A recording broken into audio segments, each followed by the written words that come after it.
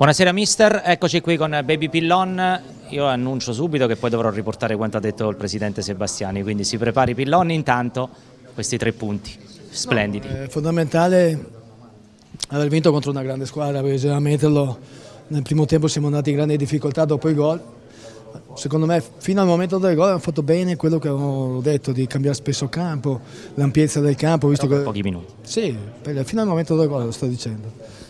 Poi abbiamo arretrato il baricentro della squadra troppo presto, cioè, dovevamo stare più alti, giocare più aggressivi come abbiamo fatto e abbiamo subito la loro fisicità, il loro gioco e giustamente loro sono passati in vantaggio. Poi nel secondo tempo la musica è cambiata. Perché? Ma io dico la chiave? La chiave è l'atteggiamento, sempre.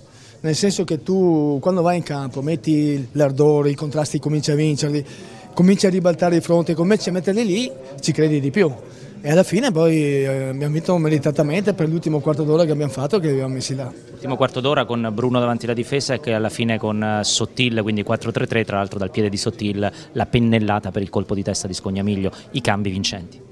Sì, sì, no, sono molto contento dei ragazzi che sono entrati, ma non avevo dubbio su questo. Eh, la, non si gioca mai in 11 ma sempre in 14 eh, perché quando i tre che entrano dalla panchina devono essere decisivi perché sono freschi e stasera ci hanno dato una grossa mano. Chiuderemo con una cosa bella, però adesso le riporto le parole del presidente Sebastiani, ha detto primo cambio non l'ho capito per niente, primo tempo abbiamo regalato la partita, potevamo subire 4 gol, con Bruno e Brugman più alto e con i tre attaccanti ho visto il Pescara che voglio vedere, che qualcuno lo capisca con le buone o con le cattive. Il Presidente può dire quello, il Presidente può dire quello che vuole, io faccio il mio lavoro, se avrò la possibilità fino alla fine lo farò. L'ultima, e questa è una cosa bella, è stato ancora una volta il più veloce dopo il gol di Scognamiglio ad esultare. Freschezza atletica di Baby Pillon, dai raccontaci quel momento. A 63 anni eh, insomma sono in forma lo stesso. No?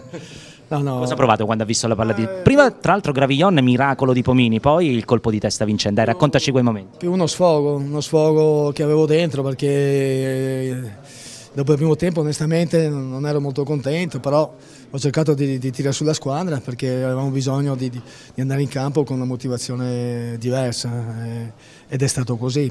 L'atteggiamento, le motivazioni, lo spirito di rivalsa deve esserci perché è importantissimo in questa squadra. L'ultima rapida da parte mia, la prima volta dal primo minuto in stagione con la difesa a tre, l'aveva provata qualche volta a partita in corso, perché questa scelta tattica? E chiudiamo.